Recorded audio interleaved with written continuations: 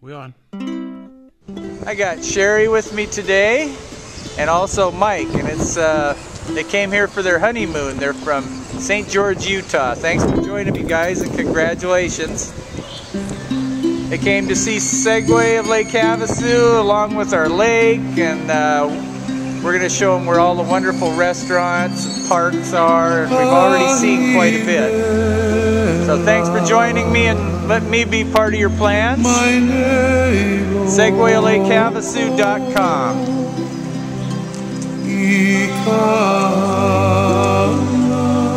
All right, we're gonna head out of here right about now. Thanks again. Let's go enjoy the rest of our day.